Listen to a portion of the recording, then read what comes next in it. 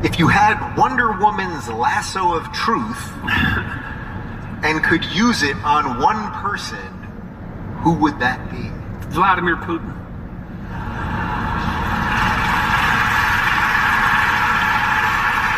You know what I'd really like to know, what I'd really like to know about Putin, I think above all else, it's kind of an obscure thing in some sense.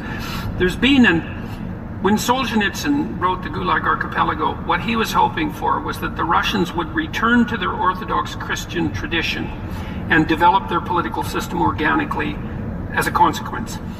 And what's happened since the fall of the Soviet Union is that Orthodox Christianity has been undergoing a revival in Russia, for better or worse, but certainly a revival.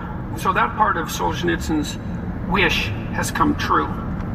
Now, Putin seems to support that revival and has made gestures in the direction of affiliation with Orthodox Christianity. And I'd like to find out if he does believe that there is a power that he's subordinate to, because that would be a real relief. You know, so, well, one of the things that I learned about from studying religious structures from a scientific perspective, let's say, psychological perspective, was that even thousands of years ago, in, among the Mesopotamians, for example, there was an idea that the ruler, the emperor, who was pretty much an absolute despot in some sense, was nonetheless responsible either directly to a higher power or was a manifestation of that higher power on earth and had certain ethical obligations as a consequence. And so, so see, one of the things that our religious imagination has done over the course of millennia is abstract out the idea of sovereignty as something in and of itself, and then to make everyone subordinate to that abstract notion, including absolute rulers.